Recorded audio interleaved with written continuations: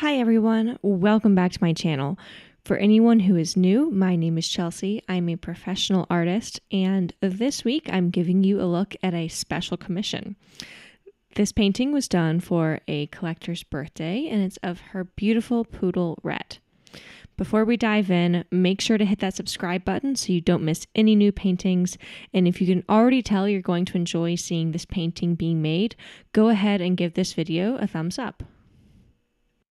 To start out, I want to talk a little about proportion. So rather than going for a really technical drawing before my block in, I opted to go in directly with paint. That meant early on, I did a lot of comparing my painting to my photo reference of Rhett to make sure that everything was in the right place.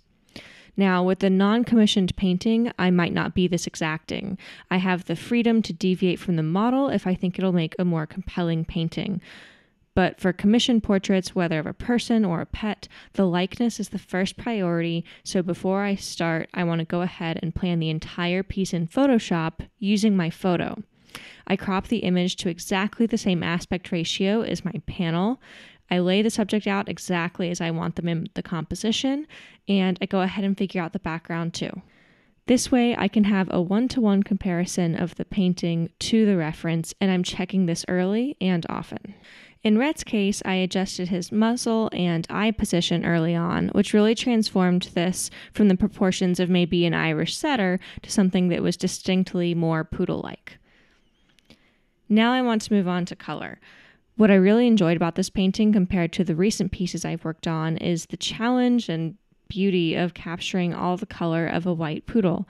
It's very easy to see everything from the creamy areas of Rhett's coat, especially in his ears. But then additionally, there are these beautiful blue green shadows on his chest and in parts of his ears where the light just isn't able to reach. This part was really exciting to me, seeing just how much color I actually needed to bring into the piece to make it look real. By contrast, what I'm not doing is going ahead and saying, well, he's a white or cream colored poodle, so my shadows are just going to be a little bit more gray.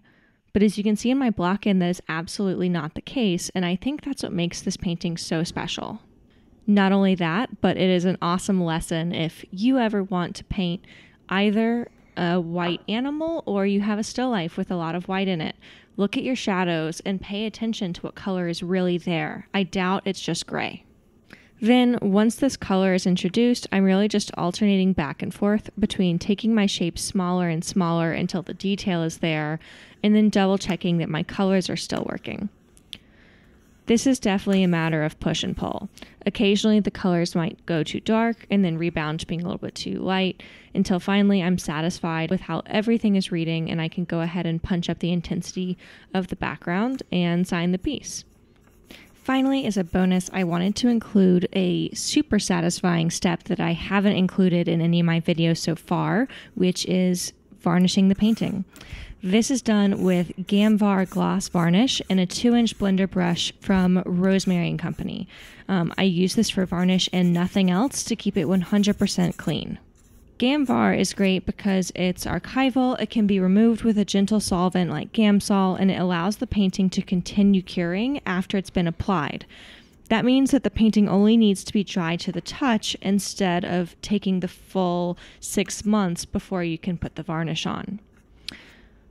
For this step, I'm trying to use a minimal amount of varnish, just enough to effectively cover the panel because adding too much too quickly can cause the varnish to bead up and refuse to cover certain areas of the painting.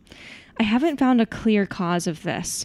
Some people talk about the brand of paint, some people talk about the humidity in the air.